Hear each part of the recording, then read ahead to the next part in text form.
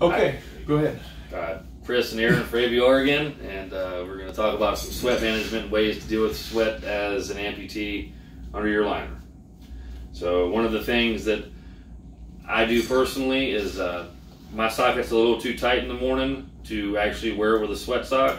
So I will add um, some spray deodorant on my bare skin, and then I'll I'll roll my then I, I'll roll my liner on over the top of the spray deodorant. Does two things.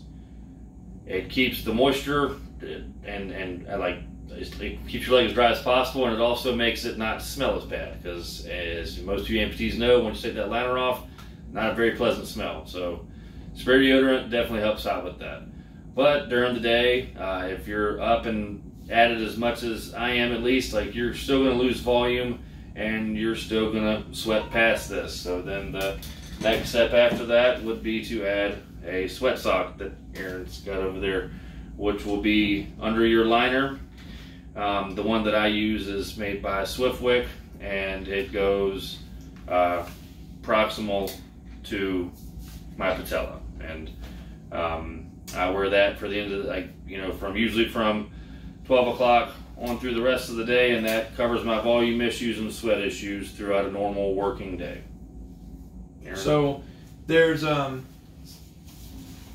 what I call heavy sweaters and light sweaters. So uh, I myself was a heavy sweater. My sister is a light sweater. So sometimes we have to implement more things for perspiration. So these are just some other tidbits. So uh, Chris mentioned a sweat sock. So he uses a seal-in system often, and so he wears a shorter length sweat sock so that his liner is actually gripping to his skin. Because if he had a full length sweat sock on, his liner would be on sweat sock most of the way. So he likes to have I think more of your liner on your oh, skin. Yeah. The sweat socks come in different lengths. These are the ones with the stripes are a little tighter. They make a really loose one that's uh, not very tight at all. It's the most comfortable. It's shorter. It's an ALV style. We have some here. Just don't have one right here.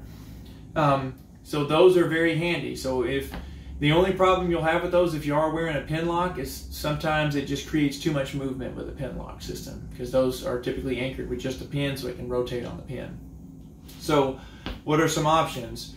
Well, um, we have some people, uh, Jack, this is a Jack Richmond special, that do something just as simple as put a headband up above they'll pull it up on their thigh first and roll their liner up. And if it goes above the liner, it kind of works like it does on your face and catches the sweat from going in your eyes. So it catches some of the sweat. Gravity pulls it down into your liner. Simple thing, uh, you know, 99 cents at the dollar store. It doesn't hurt to try these. Some people do all of these. This is a material called a ShamWow. If it's written on here somewhere. This one was made in Germany. So this is different material, but here they carry these at Walmart. This is a car chamois. They're super absorbent. So what we will have people do, they're a little rough on your skin. Sometimes you want to wash them a couple of times. Is set a cup down, like a coffee cup. Take a Sharpie and trace a circle. Cut that circle out. Put that in the bottom of your liner and then roll your liner up. And that can be a super handy little trick for soaking up sweat. Some people will use a lot of these. Honestly, some people will use the antiperspirant a sweat sock, a ShamWow, and a headband. Now another, another kind of like deal breaker. Okay, we've been talking about below the knee a lot, but above the knee, um, these spandex underwear are super crucial because you are going to have an area where the liner is going to be right against what we call native skin, skin that's just never had anything on it. And that's hard to get it to break in. You can try lubricants and lotion, the best thing we found is some type of spandex underwear. There's multiple types. Target, Walmart, Jockey. Um, something with a higher percentage of uh, spandex is better. Definitely no cotton. Cotton is rotten. So we're looking for something that's only polyester and spandex. A minimum we recommend is 15% spandex. It's just going to make it tighter and more form-fitting. For transfemoral amputees, it just keeps extra tissue from getting pinched in the socket. So those are crucial. So then what you would do is put the spandex underwear on first. So when you roll your liner up, if you're wearing one as a trans above knee amputee, then the liner is actually, the edge of the liner is on the bottom border of these underwear instead of on your skin. So those are some common little tidbits. Chris, when you have problem areas come up on your leg, what are some common um, little, I'm going to call them maintenance issues that maybe once every few months pop up? Um, You ever have like ingrown hair yeah, sometimes? I'll have ingrown hairs. Um, what do you do for those? Do you find it helps? I put some kind of uh, moisturizer lotions, this is something that'll keep it from where the liner's not sticking to it all day long, Okay. and just kind of help it move. Uh, I I clean my leg with Hibiclens. I clean my liner with Hibiclens. So that's what we're going to show you is that's Hibiclens. So it has uh, CHG. Is you can find that anywhere. It's chlorhexidine gluconate. It's just a brand name. But we call this persistent protection. Normal soap stays has a binder that stays in your skin about two hours. Hibiclens has the CHG as the binder, so it stays on your skin about 10 to 12 hours. So it just gives you longer protection from bugs and stuff. And you can use it daily. So Chris, being a ginger, uh, I use it daily. uses it daily. Um, some of our long-term athletes, uh, Daryl here uses that daily too. He's using two prosthetics too, so that creates a little bit different issues because there's no good leg to offload everything with. That's a great uh, tip. We found that work works well for a lot of people. What other kind of maintenance daily things have you found to help with avoiding problems? Um, you know, the the biggest thing for me is just managing the sweat and, and keeping it as clean as I can. And the Hibiclens uh, has has kept it very very clean to me. I, I would still recommend cleaning with alcohol, um, but um, the spray deodorant was the by far the bigger thing for me. I mean, like, like there's some. Um, like the Monistat that we use here for some patients, just to kind of get away from uh, That doesn't create as much lotion in there, so the lotion creates a lot of residue because that's a powder gel. yeah So for all the guys out there, if you want the uh, manly version, you want to go for fresh balls. That's the same thing. That's right. Yes. So What do you think about hair removal, Chris? I know that some people, you know, and, and you know, opinions are opinions. That we, we don't. I don't ever want to say anything's completely wrong, but I'm just curious what your take on, because a lot of amputees ask about that: laser hair removal, shaving, uh, So, clipping, at- all that. another problem of being a ginger, you cannot do laser hair removal. No. Uh, your hair is too light. Um, so I have done. For the light therapy that they guess. Mhm. Okay. So I, I- I have used Nair, and uh, I liked it. If if you're uh, If you use Nair, we have tried a few versions. This is the one we found is the most skin friendly to use. yes, yeah, I, I, I've tried two versions, and, this this one was way better. yeah, yeah. You try the other one we had here. I tried the Yeah, that was a I, little. I, I tried, tried like the man one, and it was. Uh, you needed the woman one. I needed the woman one because like, it, it it killed it, it killed everything it touched. You needed a the more sensitive skin. version. Yes. So that one actually, uh, that's good feedback. This that one, one- actually has worked the best. This one is ones. good. Yeah, this, this is, I, I have used this and it is good. It's a little, for whatever reason, uh, you know, the coronavirus is locked down crazy things, rubbing alcohol. That has been one of the things that's been super hard to find here during all of this pandemic stuff. So we can, if anybody has a question, you can email or Facebook or whatever you do, and uh, we can send you a link to it too. but like it, it'll cut down on sweat. Um, Doing the Nair helps with the sweat. It definitely helps with the sweat. Like when I was, you know, a long time ago, like when I was training for the marathon or in the half marathon, I I was using the Nair on Ah. on, on my leg, and it Okay.